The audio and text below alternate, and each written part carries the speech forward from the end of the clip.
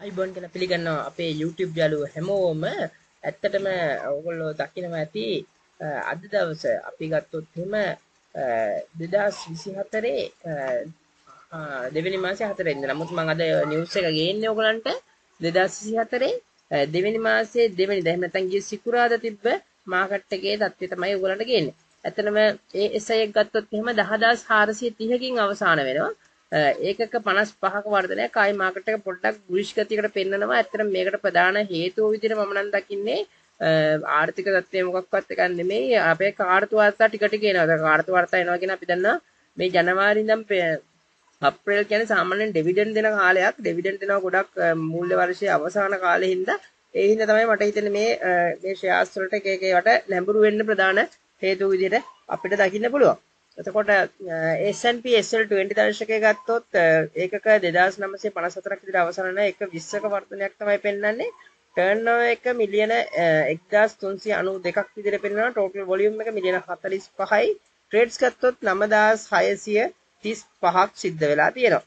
අපි පොඩ්ඩක් technical analysis එකට ගියොත් එහෙම ඔයගොල්ලෝ පෙරදී බෝලින්ජර් බෑන්ඩ් එකේ මේ යට බෑන්ඩ් එක දිගේ ආපු රේඛාව දැන් ඔන්න මැද හරියට ඇහිලා තියෙනවා. ඒ කියන්නේ දැන් පොඩක් බුලිෂ් ගතියකට එන බවක් පේනවා. මොකද මේ අප්වර්ඩ් ට්‍රෙන්ඩ් එකක් යනවා. මේ කොළ පාට කැනල්ස් ටිකක් වැදිලා තියෙනවා. ඉතින් හොඳ ලකුණක්. ඒ වගේම තමයි මේ මාළු වගේ පොඩක් කට දැන් වැහිගෙන ආවා. ඒක ඇරෙන ගතියක් තමයි තියෙන්නේ. බොලින්ජර් බෑන්ඩ් විත් එක ගත්තොත් උඩට යනවා. ඒතර RSI එක ගත්තොත් එහෙනම් පොසිටිව් විදිහට තමයි පෙන්වන්නේ. ඕවර් සෝල්ඩ් අවස්ථාවේ තිබිලා එතනින් උඩට ඇහිලා තියෙනවා දැන්. MACD වල බයි හුක් එකක් වැදිලා තියෙනවා. ඊටාම පැහැදිලි බයි හුක් එකක් වැදිලා තියෙනවා. එතකොට RSI එකත් පේන ඇති වෙන්න ස්ලයිට්ලි වොලියුම්ස් වලින් අප් වෙන ගතියක් වැඩි වෙන ගතියක් පේන ඇති මාකට් එක ගත්තොත් ටිකක් සුබවාදී ලක්ෂණ දෙනවා කොහොමත් ඉතින් අවුරුද්දක මුල කාලේ මේ වගේ සුබවාදී ලක්ෂණ ඕවරෝල් ගත්තොත් මාකට් එක තියෙනවා. හරි. අපි අද අනික් නිවුස් වලට ගියොත් එහෙම ඕගලන්ට පේනවා ඇති පැහැදිලිවම ASPI contribution to ASPI ගත්තොත් එහෙම positive contributors 88ක් කියලා දෙනවා. negative contributors 58යි පොසිටිව් කන්ට්‍රිබියුටර්ස් ලගේ උඩම ඉන්නේ බැංකු ටික. ඒතකොට බැංකු වල පොඩි වර්ධනයක් තියෙනවා ඔයගොල්ලන්ට පේනවා ඇති NDB එක සම්පත් එක සෙලාන් එක HNB එක ගත්තොත් CCS එක තියෙනවා. ඒතකොට නෙගටිව් කන්ට්‍රිබියුටර්ස් ලා ගත්තොත් JKH එක LOLC එක ග්ලාස් එක හේලිස් එක ඩිමෝ එක තමයි පෙන්වන්නේ. අපි නිවුස් වලට ගියොත් එහෙම නිවුස් වලින් අපිට තියෙනවා ලයන් බේවරේජ් එකේ අපොයින්ට්මන්ට් ඔෆ් ඩිරෙක්ටර් තියෙනවා ඒ වගේම ඩීලින් බයි ඩිරෙක්ටර් තියෙනවා හෙල ඇපරල් එකේ අපොයින්ට්මන්ට් ඔෆ් ඩිරෙක්ටර් තියෙනවා ශ්‍රී ලංකා ටෙලිකොම් එකේ. අපි ඒිට ඇරෙන්න ගොඩක් පිටිපස්සට යන්නේ නැහැ.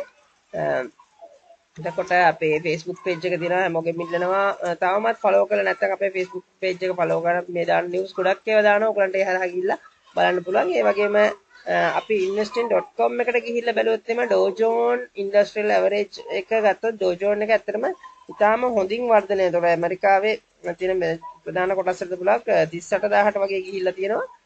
ක්‍රූඩ් ඔයිල් ගත්තොත් එහෙම ඇත්තටම බලන්න අපේ තෙල් වල මිල ගත්තොත් එහෙම තෙල් වල මිල අඩු වෙගෙන යනවා. 72කට වගේ ඇහිල්ලා තියෙනවා තෙල් වල මිල. ඊට පස්සේ බිට්කොයින් එක ගත්තොත් එහෙම බිට්කොයින් එකෙත් හොඳ වර්ධනයක් තියෙනවා. මේ අවුරුද්දෙම ගත්තොත් එහෙම පේනවා ඇති 42කට වගේ ඇහිල්ලා තියෙනවා. ඒ වගේම ලංකාවේ ඩොලර් එක විනිමය අනුපාතය ගත්තොත් එහෙම ඩොලර් එක කරන මතකයි අපි සාමාන්‍යයෙන් 330ට 40ට ඒ වගේ තිබ්බ ඩොලර් එක ඇත්තටම සෑහෙන ඉක්මනට වැටලා තියෙනවා 312ට වගේ. හැබැයි ඉතින් මේක විකෘති වැටීමක් කියලා තමයි මම නම් දකින්නේ. මොකද අපි තාමත් ණය ගෙවන්නේ නැහැ. සාමේ ඩොලර් වල පොඩ්ඩක් ඉතින් ජනවාරි මාසේ ගත්තොත් ටුවරිස්ට්ලා ලක්ෂ දෙකක් විතර ආවා. ඒකත් එක්කත් යම්කිසි බලපෑමක් වෙන්න පුළුවන්. ඒ අරන වෙන නිෂ්පාදන හෝ අපනයන වලින් නෙමෙයි ඉතින් මේක හැදිලා තියෙන්නේ. ඩොලර් ඉන්කම් එකක් නැහැ. එහෙම නැත්නම් අවුට්ෆ්ලෝ එක තාම නවත්තලා තියෙනවා ගොඩක් බෑන්ඩ් වලින්. ඒ වගේම අපි ණය ගෙවන්නේ නැති හින්දා තමයි මේක විකෘති අඩුවීමක් තියෙන. ඉතින් මේක දික් ගන්න අපිට කියන්න බෑ ණය ගෙවීම පටන් ගත්තොත් එහෙම ඩොලර් සංචිත තිබ්බට මේ සංචිත නැවතත් අඩුවෙලා තියෙනවා. මම දැක්කා මහ බැංකුවේ වාර්තාවක් දාලා තිබුණා සංචිත ප්‍රමාණය බිලියන ගාණකින් දක්වා වැඩි වෙලා තියෙනවා කියලා. ඉතින් මේවා අපි ඊටම සාධනීයව හැම පැත්තෙම බලන්න ඕනේ.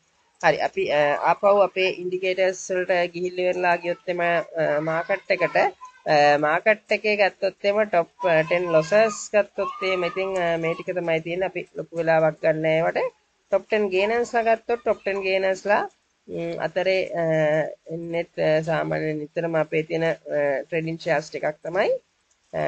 top 10 share volumes ගත්තොත් top 10 share volumes වල උඩින්ම ඉන්නවා ක්‍රොසින් එකක් ගිහලා තියෙනවා. කොළඹ පෝර්ට්ලෑන්ඩ් එකේ ඊට පස්සේ බ්‍රවුන්ස් ඉන්වෙස්ට්මන්ට් බිල් එක හෙල එකේ ක්‍රොසින් එකක් ගිහලා තියෙනවා. LB ෆයිනෑන්ස් එකේ ක්‍රොසින් එකක් ගිහලා තියෙනවා. හෙල ඇපරල් හෝල්ඩින් එක තියෙනවා. ඊට පස්සේ Lanka milk food milk food එක නම් පොඩක් වැඩි තියෙන LMF එක 3කින් විතර LFC එක තියෙනවා LB ෆයිනෑන්ස් තියෙනවා ඒ වගේම NTP එක තියෙනවා මාරවිල රිසෝට් එක තියෙනවා. ටොප් 10 ටර්නෝවර්ස් වලින් උඩින්ම ගත්තොත් එමේ LB ෆයිනෑන්ස් එකේ ක්‍රොසින් එක තියෙනවා ඊට පස්සේ කොළඹ පෝර්ට්ලෑන්ඩ් එක තියෙනවා NTB එක තියෙනවා ජොන් කීස් තියෙනවා LB ෆයිනෑන්ස් තියෙනවා සම්පත් තියෙන සම්පත් එකත් පොඩි ගණන් වැඩිලා තියෙනවා එක්ස්පෝ ලංකා එතකොට සිලෝන් ග්‍රේන් එලිවේටර්ස් තියෙනවා ඒ වගේම කැපිටල් අලයන්ස් තියෙනවා ලංකා මිල්ක් ෆුඩ් තියෙනවා. අපි සෙක්ටර් වයිස් පොඩ්ඩක් ගිහිල්ලා බලුවොත් එහෙම සෙක්ටර් වයිස් එකේ අපි බලමු පොඩක් අපේ මේන් සෙක්ටර්ස් ටික හැමදාම යනවා වගේ කන්සියුමර් සර්විස් කන්සියුමර් සර්විස් වල ගත්තොත් නම් තාමත් හෝඩ් ලකුණු තමයි තියෙන්නේ. හැබැයි මෙතන MACD එකේ නම් බයි හුක් එකක් වැදිලා තියෙනවා. ඒ වගේම අපි තව සෙක්ටර් එකකට ගිහිල්ලා බැලුවොත් එහෙම අපි ෆුඩ් ඇන්ඩ් බේවරේජ් බලමු. අපේ ප්ලාන්ටේෂන් ඒ වගේ වගේමද කියලා එක එක ගත්තත් මෙන්න මෙතන MACD එකේ නම් බයි හුක් එකක් වැදිලා තියෙනවා. අනිත් ඔක්කොම RSI පොසිටිව් ට්‍රෙන්ඩ් එකක් තියෙන. ඇත්තටම පොඩි OBV එකත් වොලියම්ස් වල වර්ධනයක් වෙනවා. අපි බලමු අද අපි අර දැක්කනේ බැංකු මේන්ලි කන්ට්‍රිබියුට් කරලා තිබ්බින්ද බැංකු වල මොන වගේ එකක්ද අපිට ට්‍රෙන්ඩ් chart එකේ පෙන්වන්නේ කියලා. ඒතර බෑන්ක් ගත්තොත් එහෙම බෑන්ක් වල මෙන්න මෙතන අපිට RSI එක හොඳ පොසිටිව් එකක් ඇවිල්ලා තිනවා. ඒකත් Y hook එකක් වැදිලා තිනවා. ඒ වගේම දැන් මෙන්න මේක ගිහිලා තියෙන ඉතින් RSI ASI එකට සමානම වගේ තමයි තියෙන්නේ මේවත් ගත්තොත් ලොකු වෙනසක් අපි දකින්නේ නැහැ. අපි කස්ටම් ගියොත් එහෙම ධම්මික පෙරේරා මහත්මයාගේ ෂෙයාර්ස් වල තියෙනවා ඉතින් හැම එකක්ම වගේ පොඩ පොඩ වර්ධනය වෙලා තියෙන ගතියක් වෙනවා. ඇත්තට මම මේ කිව්වේ ඩිවිඩන්ඩ් දෙන කම්පැනි සහ ක්වාටර් රිපෝට් වැටීම තමයි මේවට ප්‍රධාන වශයෙන් බලපාලා තියෙන වෙන නම් හේතුවක් මම දකින්නේ නැහැ. හරි ජයවර්ධන මහත්මයාගේ මඩල් සීමා ප්ලාන්ටේෂන් 105කින් වර්ධනය වෙලා තියෙනවා. වගේම ගත්තොත් යද්දේගේ මහත්මයාගේ අපිට කියන්න තරම් ලොකු වර්ධනයක් ඉතින් නැහැ. ශරණානක්කර මහත්මයාගේ යෝධ මේවා අපි වන් බවුන්සන් කම්පැනි වෙලා තිනවා සෙලාන් බැංක් එක වැඩි වෙලා තිනවා. ඒ වගේම සෙලාන් බැංකේ N එක X එක දෙකම වැඩි වෙලා තියෙනවා ඇත්තටම. උඩපුල් ඇස්සල්ලාව HDFC පොඩි ඉෂාරගෙත් පොඩි ටච් එකක් තියෙනවා වගේ පොඩි වෙනස් වෙන ගතියක් තියෙනවා. ඒ වගේම AIC කාලයකට පස්සේ 105කින් විතර වැඩිලා තියෙනවා. Softlogic Life ඉන්ශුරන්ස් එක මේ ටික තමයි මේන්ලි කතා කරන්න තියෙන ඉතින් හැමෝගෙම ඉල්ලන කමෙන්ට් එකක් දාලා ඉන්න එහෙනම් හැමෝටම බුදු සරණයි